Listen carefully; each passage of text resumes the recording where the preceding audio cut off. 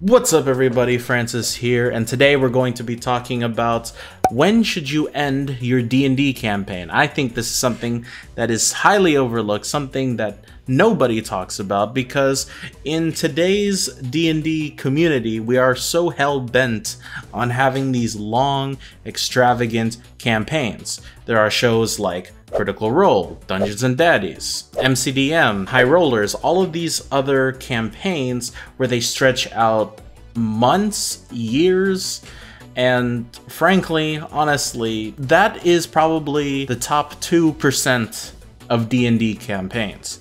As someone who's been DMing for only 3 years or so, I've recognized that Dungeons and Dragons does not have a proper end.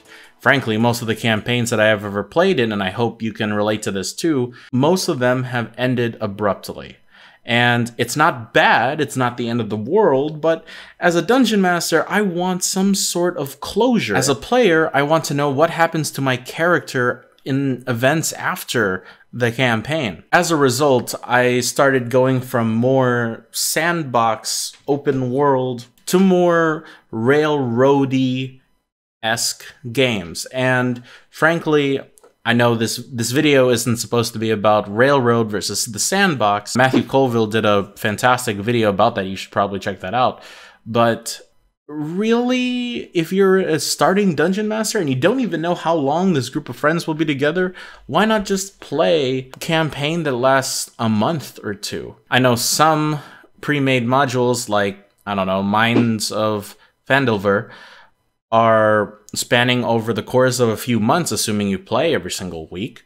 And frankly, that's not bad at all. The way I'm recommending this to any dungeon master out there is to plan backwards from your adventure. So let's say you are a dungeon master and you have a really sick villain that you want to use, and they let's say that they are the archduke of a city from far away or a nobleman and they are trying to achieve their goals by performing actions. Villains have underlings, so they don't do anything by themselves, but the underlings, they will do the handiwork of the big bad evil guy and those clues and tidbits that the henchmen leave behind will eventually be what the players find.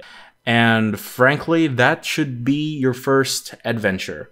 And from there, I recommend just seeing how it goes. Maybe you have a player or two that don't like their classes. Maybe they just don't really function well as a party. Um, maybe you just want a different environment. But that is the way I recommend it. So that's it for this video. I hope you enjoyed this. A little bit of a shorter end. A really big question though, when should you end your campaign? Frankly, it is as long as you're willing to put into it. However, in my opinion, there should be some sort of time limit of when things are expected to end. If you enjoyed this, please leave me a like down below, and I will see you in the next video. Peace.